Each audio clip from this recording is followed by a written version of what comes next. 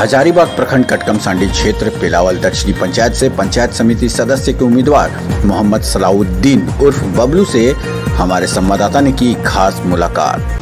नमस्कार, मैं वसीम। और जैसा कि आप देख रहे हैं, झारखंड में त्रिस्तरीय पंचायत चुनाव को लेकर उम्मीदवार अपने अपने ताकत झोंके हुए हैं। चुनावी मैदान में कूद रहे हैं हम। इसी तरह प्रत्याशी से मिल रहे हैं, हर एक प्रत्याशी से कोशिश कर रहे हैं, मिलने की बात कर रहे हैं। तो आइए हम आज बात करते हैं कटकम सांडी प्रखंड के पिलावल दक्षिणी पंचायत के पंचायत समिति सदस्य जो पिछले बार भी वो पंचायत समिति सदस्य रह चुके हैं। आइए हम उनसे जानते हैं। मैं मोहम्मद सलाउद्दीन पिलावल दक्षिणी पंचायत से पंचायत समिति सदस्य रह चुका हूँ और अभी भी पंचायत समिति के पद पर चुनाव लड़ रहे हैं।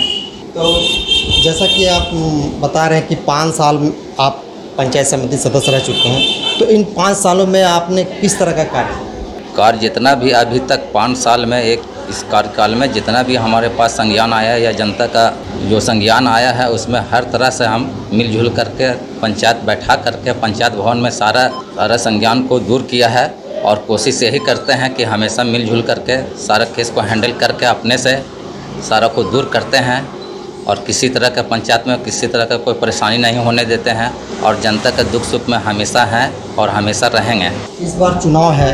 जी। आपको क्या लगता है कि पंचायत की जनता आपके साथ किस तरह से खड़ी है? बिल्कुल आगे जिस तरह से खड़ी थी उससे ज़्यादा से ज़्यादा बहुमत के साथ हम खड़े हैं और हमारे जनता भी हमारे साथ खड़ी है।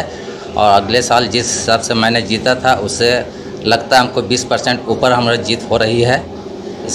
और जनता हमारे साथ है।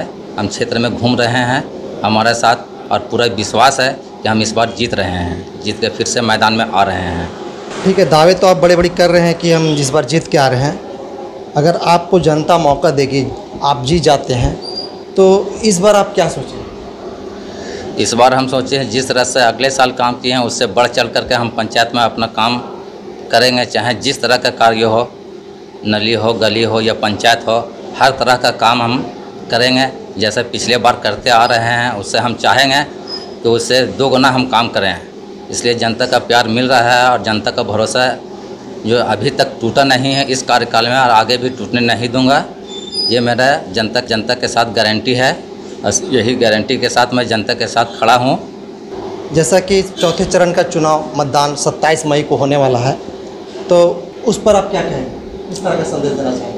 सत्ताईस तारीख को जो मतदान हो रहा है, बहुत अच्छा ढंग से होगा मेरे क्षेत्र में, मेरे गाँव में, और बहुत अच्छा से सब वोटर एक एक वोट करेंगे, मतदान करेंगे और हमारे पक्ष में करेंगे। ये मेरा पूरा जनता से विश्वास है और बहुत अच्छा ढंग से चुनाव होगा, मतदान होगा और हम सत्ताईस तारीख को फुल बहुमत से जीत रहे हैं। तो चलिए, आपने देखा कि हम बात कर रहे थे पंचायत समिति सदस्य सलाउद्दीन उर्फ़ बल- बबलू जी से। जो पूर्व में भी वो पंचायत समिति सदस्य रह चुके हैं और इनका दावा है कि इस बार भी वो पंचायत समिति सदस्य का सीट की दावेदारी पूरी तरह से कर रहे हैं और इनका कहना है कि जनता भी हमारे साथ है।